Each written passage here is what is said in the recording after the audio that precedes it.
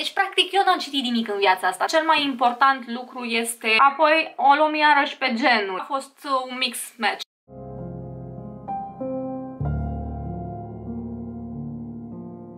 Uitați și voi ce pui scump am eu acolo și cât de obosituțe este el. Câtă oboseală păpuiul meu. Hai să-l vedem mai de aproape cu băbucele astea ale lui frumoase. Păi ce bine contrastezi tu pe albul ăsta. Ce bine contrastezi tu pe albul ăsta. Câtă frumusețe pe tine. Se vede și colțișorul? Da, ni se vede și colțișorul. Ia uitați acolo colțișorul care nu mai are loc în gurița. A crescut prea mare. Oh, doamne, obositul, mama obosit. Well, hello, my little friends! Ce faceți? V-a plăcut de Jiminy? Este acasă, este miorlăicios, este supărat, acum nu știu de ce, n-am înțeles exact care e supărarea lui, dar e supărat. Uh, și m-am gândit că, că cât e el supărat, să, noi să vorbim despre ceva ce intenționam să vorbesc în luna ianuarie cu voi și numai bine că nu las să scape ianuarie fără să povestim, și anume despre obiectivele mele literare, despre ce am citit în 2000 2022, stai că nu mai știam în ce an sunt, ce am citit în 2022, ce vreau să citesc, ce vreau să fac de acum încolo, care sunt obiectivele mele, cam așa niște idei. Înainte de toate, vreau să povestim puțin despre ce s-a întâmplat cu acel no buy books uh, pe final de an, și trebuie să vă mărturisesc că a fost un chin total. Când uh, mi-am propus să fac un nou buyer în materie de make-up nu mi-a fost atât de greu să mă abțin cum mi-a fost acum când a venit vorba de cărți. Și asta pentru că eu îmi cumpăr cărțile cu precădere online și peste tot am fost bombardată de oferte la cărți. Cel puțin în perioada Crăciunului a fost înfiorător să intru pe Instagram sau pe ceva, pentru că efectiv peste tot erau cărți, cărți la ofertă, cărți la ofertă, cărți la ofertă, tot așa, nu așa erau peste tot ca, ca uh, uh, licuricii și am constatat următoarele. Cărțile pe care le am eu necitite în bibliotecă sunt relativ boring. Adică la un moment dat aveam chef de fantasy, aveam chef de ceva light, aveam chef de ceva așa și în uh, biblioteca mea ce a mai rămas necitit, nu am găsit așa ceva. Deci nu a reușit să-mi satisfacă nevoia, ceea ce m-a făcut de, în lunile astea să intru așa într-un reading slam și să citesc foarte lent. Dintre toate cărțile pe care mi-am propus eu să le citesc, că erau multe, nu știu, foarte multe, nu știu câte am uh, pus, am zis că mă uit la clipul ăla cu, pe care l-am făcut atunci când am zis că nu mai cumpăr cărți uh, și n-am apucat. Uh, dar cred că am citit una singură din cărțile alea, și anume Tronul de Cleștar. La aia am ajuns, în rest nu am ajuns la, cred că la niciuna din restul. Um, și asta pentru că am m-a plictisit așa și pentru că am încercat să citesc pentru book club și pentru că m-am legat de alte lucruri și pur și simplu nu am oricum erau câteva luni, nu știu când am în septembrie, octombrie, noiembrie, nu știu când, când am început treaba asta. Cert este că n-am avut foarte mult timp și eu fiind un cititor lent, N-am ajuns la multe cărți din uh, uh Malderola, dar nu-i problemă că le-am pus în uh, clipul uh, ăla cu 23 de cărți pe care vreau să le citesc în 2023. Le găsiți acolo și sper din tot sufletul că anul ăsta chiar să ajung la ele și o să fac un efort.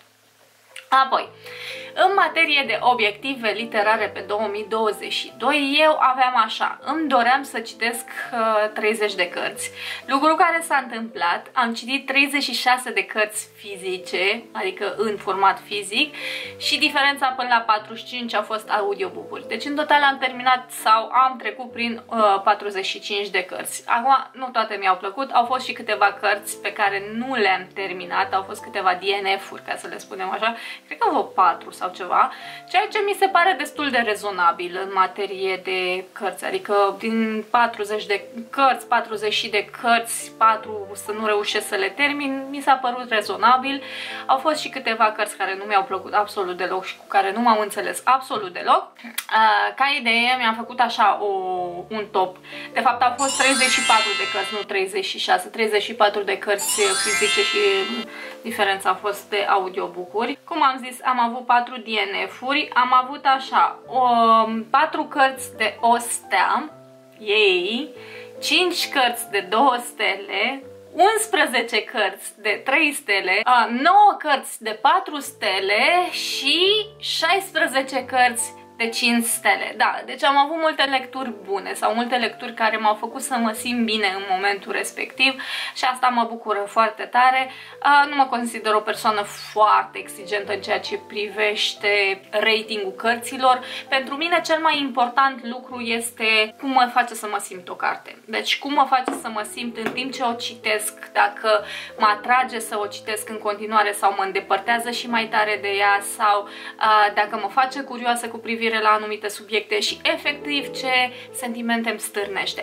Asta este punctul cel mai important pentru că mi s-a mai spus dacă cum poți să pui o carte de 5 stele să compari, nu știu, o carte banală, nu știu, ceva contemporan banal, să-i dai 5 stele și unui clasic sau unei cărți consacrate să-i dai uh, 2-3 stele. Uite așa bine, pentru că nu pot dacă uh, nu pot și nu pot și dacă nu mă înțeleg cu un clasic și nu mă face să mă simt bine și nu reușesc să extrag nimic din cartea aia, nu reușesc să am o conexiune cu cartea aia, nu uh, văd de ce i-aș da 5 stele, doar pentru că e clasic. Adică pentru mine argumentele astea nu funcționează iar ratingurile mele sunt pur personale.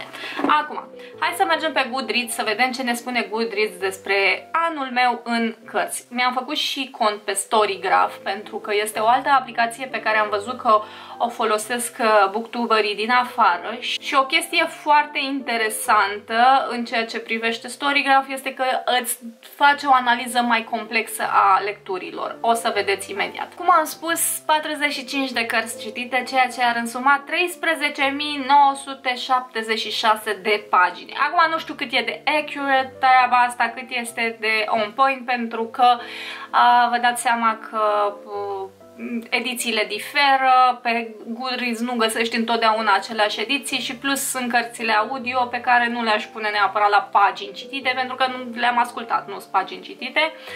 Cartea cu cel, mai, uh, cu cel mai mic număr de pagini este Tehomir al lui Horațiu Mălăiele, evident, 64 de pagini și cartea cea mai voluminoasă cu cele mai multe pagini este Femeia în alb, 784, da, chiar m-a chinuit rău de tot monstrul ăla. Goodreads spune că am o medie de 310 pagini pe carte. Cărțile pe care le citesc eu nu sunt cele mai groase, dar nici subțirele. Subțirele, da, a fost un mix match uh, pe parcursul anului și um, sunt situații în care mi-aleg cărțile după cât sunt de groase, dar mai degrabă mi le leg dup după scris, după cât e de mare scrisul, din motive tehnice după, pe care cred că le știți. Apoi avem așa, cea mai populară carte dintre cele pe care le-am citit eu a fost 1984 al lui Orwell, uh, se pare că a fost citită până în prezent de 6 milioane, 6 milioane, 6 milioane 855 de mii 211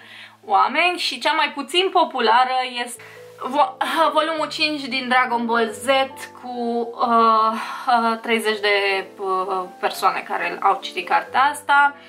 Uh, media ratingurilor mele este de 3,6 uh, steluțe Așa, cartea care are cel mai mare rating pe Goodreads din cele pe care le-am citit eu este I'm Glad My Mom Died de Janet McCurtis. Uh, autobiografie v-am povestit uh, despre ea minunată și practic eu mi-am depășit obiectivul cu uh, 50%, da?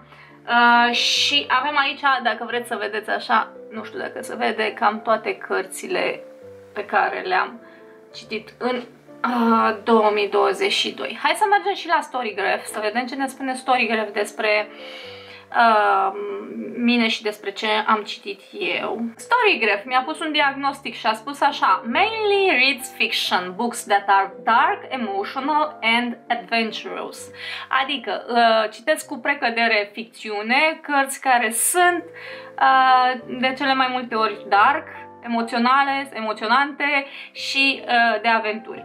Ceea ce este adevărat, este cât se poate de adevărat, așa, cum uh, ziceam și mai devreme, se uh, vede cu, cu precădere, citesc cărți care au o tentă din asta dark, sunt emoționante, da? Uh, de aventură, categoric, asta vor rămâne întotdeauna preferatele mele, reflectiv, da? Îmi plac cărțile care te pun pe gânduri și care te uh, fac așa să te, să-ți pui niște întrebări. De categoriile cele mai puțin preferate sunt Inspiring, Sad, Light Read și Challenging. Da, cam așa. Până aici suntem accurate, ca să spunem așa.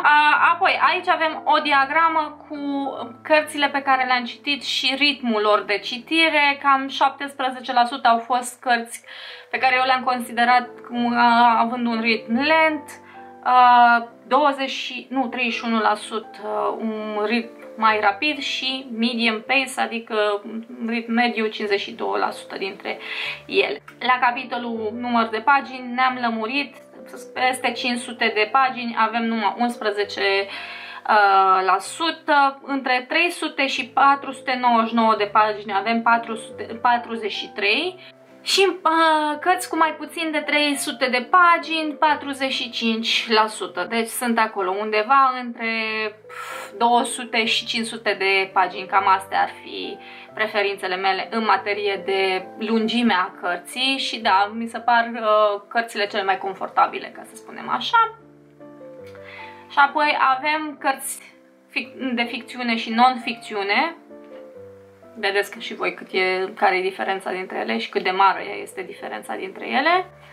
Apoi o luăm iarăși pe genuri și avem așa, clasic. În mod bizar, clasicul se situează pe locul numărul 1, dar asta bănuiesc că e datorită book club-ului, pentru că altfel nu știu dacă ar fi fost așa. Cu siguranță Young Adult-ul ar fi trebuit să fie primul pentru mine, deși, mă rog, unele, unele cărți sunt considerate Young Adult, altele nu, da, mă rog, așa. Romance mă surprinde faptul că Romansul este pe locul 3 uh, și asta numai din cauza sau datorită, nici nu știu cum să o pun, uh, clipului ăluia pe care l-am făcut cu cărți de dragoste. Am făcut eu în vară pe, sau pe la final de vară un clip în care m-am forțat să fac un maraton din asta în care să citesc uh, cărți de dragoste. Știți că nu sunt favoritele mele și de aia. Așa.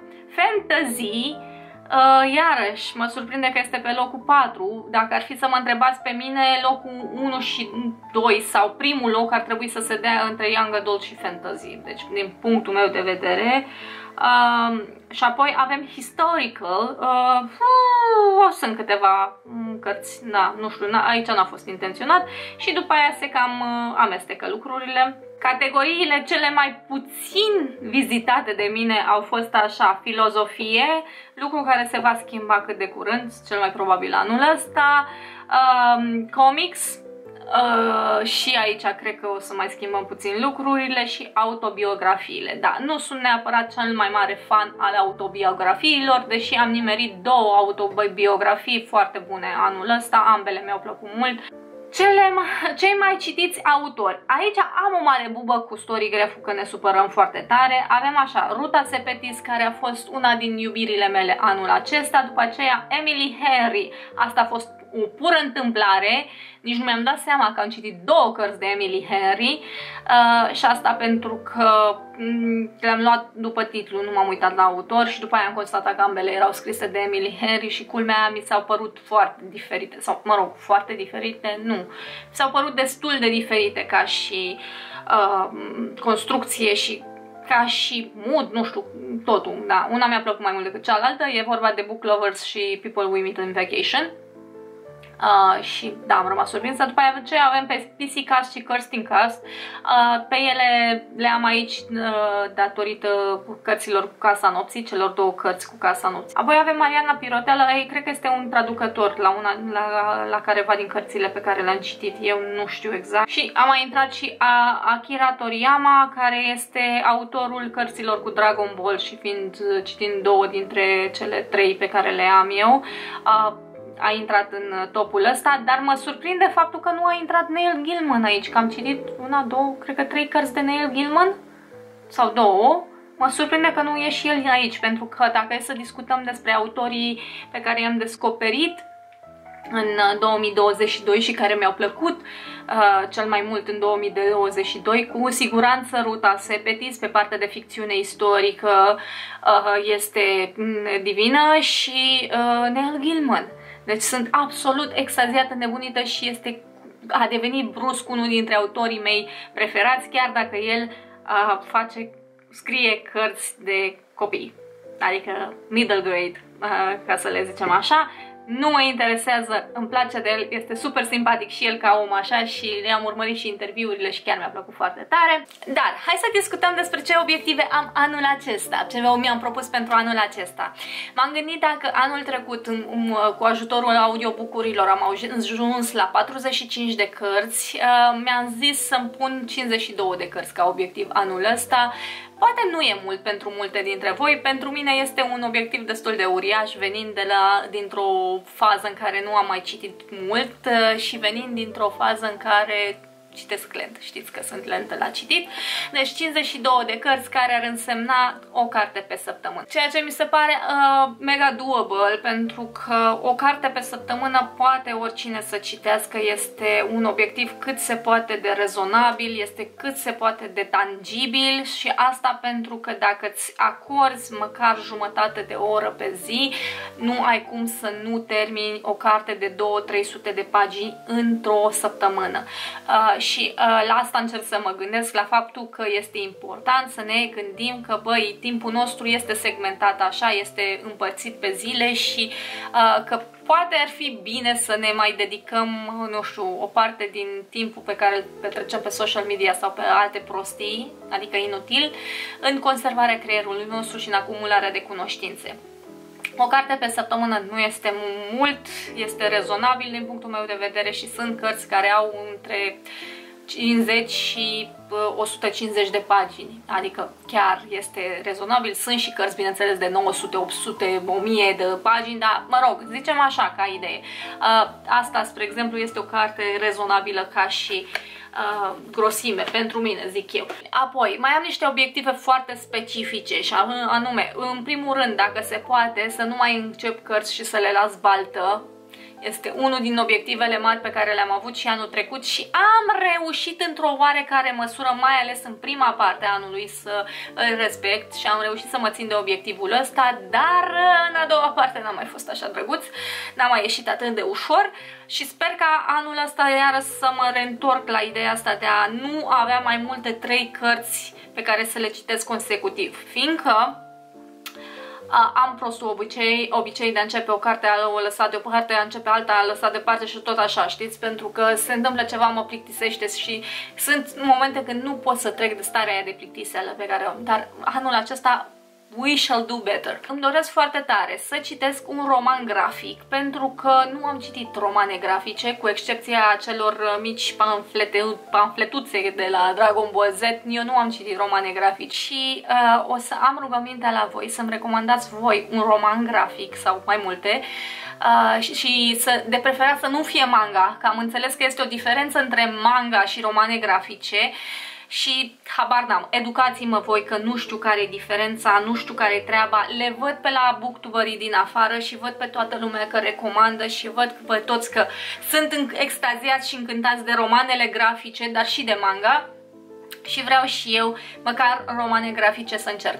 Nu mă încântă ideea de manga și vă zic și de ce. Nu prea sunt atrasă de cultura asiatică, nu prea sunt atrasă. Pe mine nu-mi plac filmele asiatice, dar știu șoc și groază, nu-mi place BTS, nu-mi place muzica lor, nu-mi place nimic. Nu, am, am treabă, efectiv, nu mă... Eu nu sunt din zona aia, îmi pare rău, știu, o să vă dezabonați la mine, o să mă urâți pentru chestia asta, dar asta e viața, asta e realitatea, eu sunt cu alte chestii, mie îmi plac alte lucruri, nu manga și nu astea. Și de-aia m-am ținut tot timpul din la distanță de manga.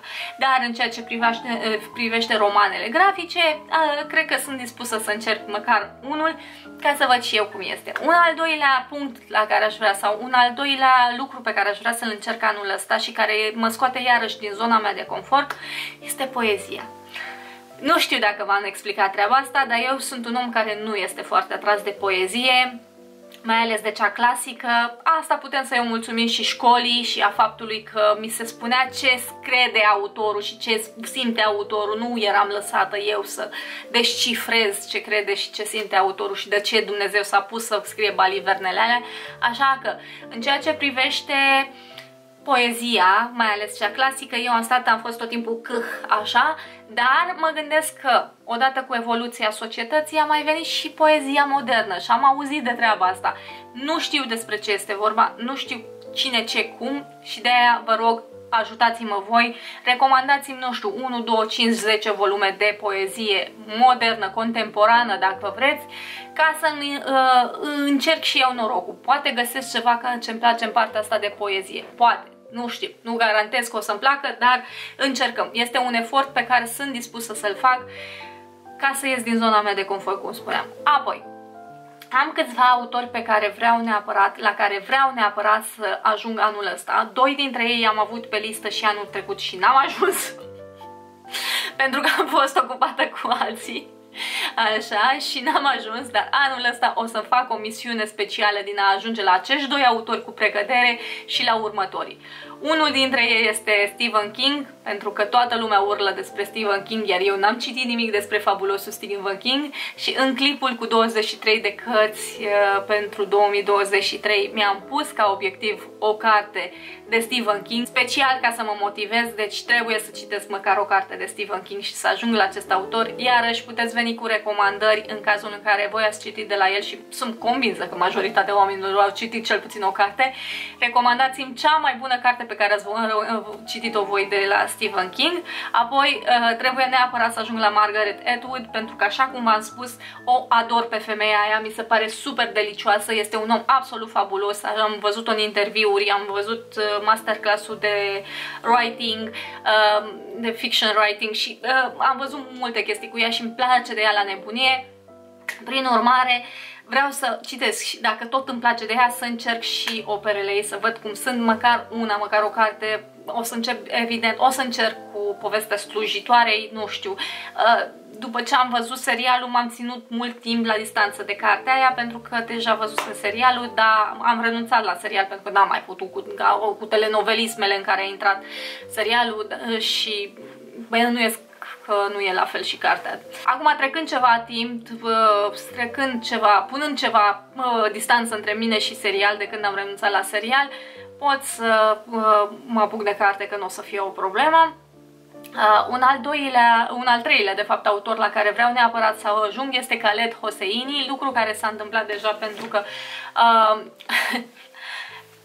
asta este propunerea sau asta este cartea care a ieșit, cartea contemporană care a ieșit la Book Club pentru luna ianuarie și era unul din autorii pe care eu îi aveam, cum v-am zis, uh, ca obiective literare să ajung la el, Khaled Hosseini, tot așa pentru că toată lumea vorbește despre el. Um, mai am puțin din cartea asta, o să vedeți, o să povestim de ea la final de lună. Uh, asta este Splendida Cetatea celor o mie de sori. Uh, știu că mai sunt vreo două volume care sunt super populare scrise de el. Toată lumea vorbește de pe internet, mai ales de pe bookclub românesc despre că, cartea asta și despre el în mod special și am vrut și eu să văd despre ce e vorba. Mi-am făcut deja niște impresii, dar voi le zic la final de lună. Iar uh, un al patrulea autor la care vreau să ajung este tot un autor despre care vorbește toată lumea și fetele de la Book Club care l-au citit spun că oh, ce bun este și este Bachman. Da, nici de Bachman n-am citit nimic. Da, deci practic eu n-am citit nimic în viața asta, dacă luăm așa, pentru că Stephen King n-am citit, Margaret Atwood n-am citit, uh, Khaled Hosseini n-am citit, Bachman n-am citit și sunt autorii momentului din ce observ eu. Uh, am rămas blocată pe ruta Sepetis. Asta este. Nu, atâta s-a putut la mine. Deci anul ăsta vreau să repar lucrurile astea. Um, da, deci asta ar fi pe partea de ce vreau să citesc. În rest, în materie de obiective per se, uh, ce cărți efectiv vreau să citesc, 23 din ele le-am nominalizat. Nu știu dacă mă voi ține neapărat de toate acele 23 de cărți. Alea sunt mai degrabă ca o propunere. O parte din ele chiar sunt importante și chiar vreau să ajung la ele, dar asta nu înseamnă că e musai, musai numai pe alea să le citesc și nu o să mă bat de la ele sau că dacă nu le voi pe, citi pe toate cele 23 de cărți din lista respectivă, vai, am să mor. Nu, nu o să fie așa. Uh, dacă vreți să vedeți exact care sunt acele 23 de cărți, vă las linkul în descriere de la clipul ăla în care vi le nominalizam și, repet, veniți și voi cu sugestii cât cuprinde că nu mă supăr, din contră îmi plac foarte, foarte tare sugestiile de la voi de lectură, mă ajută foarte mult să mă orientez. Um, un alt lucru pe care vreau să-l fac anul ăsta este să citesc un pic mai multă psihologie și să mă îndrept către zona asta de filozofie-psihologie. Asta așa ca un obiectiv vag, să-i spunem. Vreau să mă îndrept către zona asta mai mult și să citesc și să, să, să scor mult mai mult în zona asta, pentru că știți că îmi place foarte tare psihologia și știți că mă fascinează creierul și cum gândește creierul și cum acționează creierul și așa mai departe. Prin urmare, voi uh, pătrunde un pic mai mult pe partea asta, dar în egală măsură vreau să avansez și pe partea de fantasy, pe partea de young adult fantasy, cărți de genul ăsta care sunt rupte de realitate, așa că uh, orice sugestie ați avea de cărți, orice cărți bune ați citit voi din categoriile astea, go ahead, lăsați-le în comentarii, inundați-mă cu sugestii că nu mă supăr și uh, desigur puteți să-mi spuneți și ce cărți ați citit voi și vi s-au părut senzaționale sau câte cărți ați citit sau ce, ce obiective aveți pe anul acesta. Veniți și pe Instagram că acolo vă țin la curent cu ce citesc sau pe TikTok dacă vă e mai ușor. Vă mulțumesc că v-ați uitat, vă pup și ne vedem în următorul clip.